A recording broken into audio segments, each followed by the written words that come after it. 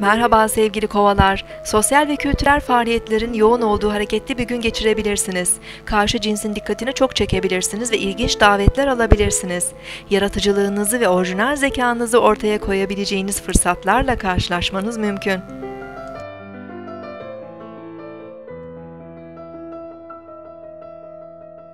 Bugün 6 Eylül 2014 Cumartesi, Satürn günündeyiz.